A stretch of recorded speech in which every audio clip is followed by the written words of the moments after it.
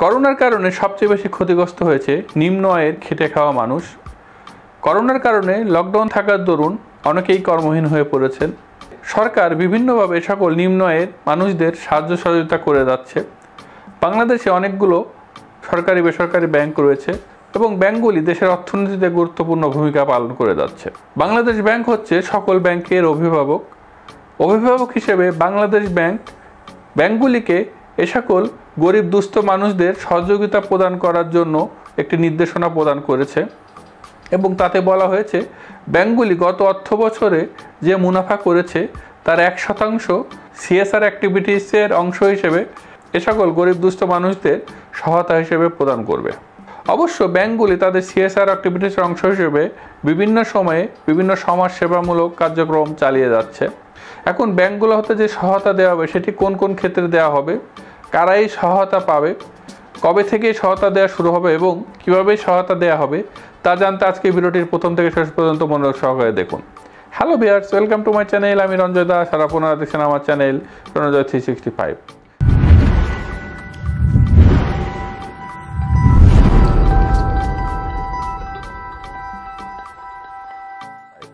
আপনি যদি আমার চ্যানেলে নতুন হয়ে থাকেন, তাহলে প্রথমে সাবস্ক্রাইব করুন এবং পাশের বেল আইকনটি ক্লিক করুন।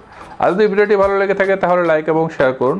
আর যদি অলরেডি সাবস্ক্রাইব করে থাকেন, তাহলে থ্যাংক ইউ সো মাচ এ বিষয়ে বাংলাদেশ ব্যাংক হতে, ব্যাংকগুলিকে যে নির্দেশনা দেওয়া হয়েছে, তা আমি এখন আপনাদের সামনে তুলে ধরছি।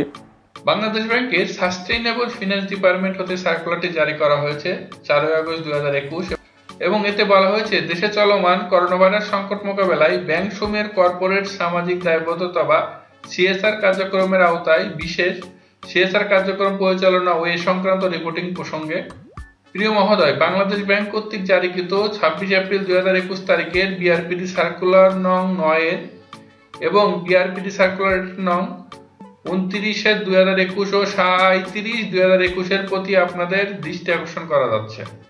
চোদ্দই জুলাই দুই হাজার একুশ পর্যন্ত ব্যাংক সমূহ কর্তৃক জেলা প্রশাসক, এনজিও, এমএফআই নিজস্ব ব্যবস্থাপনা, সেনা কল্যাণ সংস্থার মাধ্যমে বিশেষ সিএসআর কার্যক্রম পরিচালনা সংক্রান্ত তথ্য পর্যালোচনায় বাস্তবায়ন অগ্রগতি আশানুরূপ নয়। বিধায় বিশেষ কার্যক্রমের আওতায় আপনাদেরকে তৃণমূল পর্যায়ে হতদরিদ্র সুবিধা বঞ্চিত মানুষের মাঝে নিত্য প্রয়োজনীয় সামগ্রী ও স্বাস্থ্যসেবা প্রদান পৌঁছানো নিশ্চিতকল্পে সক্রিয় ভূমিকা রেখে এই বিশেষ কার্যক্রমকে বেগবান করার পরামর্শ দেওয়া হচ্ছে। এ লক্ষ্যে বিশেষ সিএসআর খাতে নির্দিষ্টকৃত অর্থ বিতরণের সময়সীমা তিরিশ সেপ্টেম্বর দুই হাজার একুশ পর্যন্ত বৃদ্ধি করা হলো। অর্থাৎ এতে বলা হয়েছে, যে যে সহায়তা সেটার সহায়তা দেওয়া হবে। তৃণমূল পর্যায়ে হতদরিদ্র, সুবিধাবঞ্চিত মানুষের মাঝে নিত্য প্রয়োজনীয় সামগ্রী ও স্বাস্থ্যসেবা সামগ্রী দেওয়ার জন্য এবং এটি দেওয়া হবে।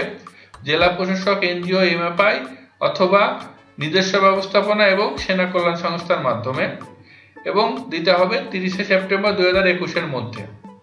এবং বলা হয়েছে বর্ণিত কার্যক্রম নির্ধারিত সময়সীমার মধ্যে ফলপ্রসূ বাস্তবায়ন তদারকি নিশ্চিত করার লক্ষ্যে সংযুক্ত সব মোতাবেক পাক্ষিক ভিত্তিতে অগ্রগতি প্রতিবেদন দাখিল করার নির্দেশনা দেওয়া হলো।